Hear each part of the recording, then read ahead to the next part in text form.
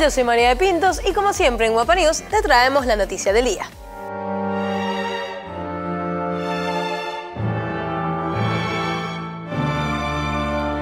El corazón de París casi se apaga el lunes al ver cómo las llamas destruían lentamente la queridísima Notre Dame.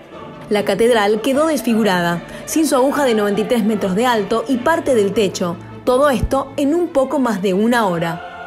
Por el momento, las teorías sobre la causa de las llamas sería un accidente en las obras de restauración de la parte superior, según las primeras investigaciones.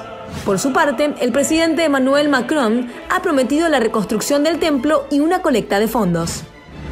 La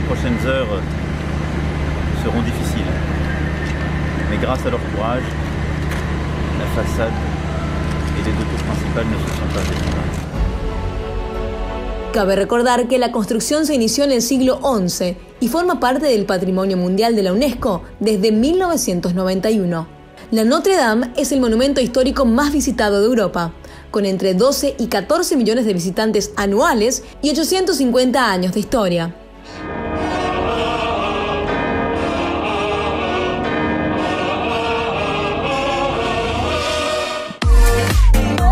¿No te diste una vuelta por nuestras redes sociales? Seguinos. Yo soy María de Pintos y esto fue Guapa News. Chao, chao.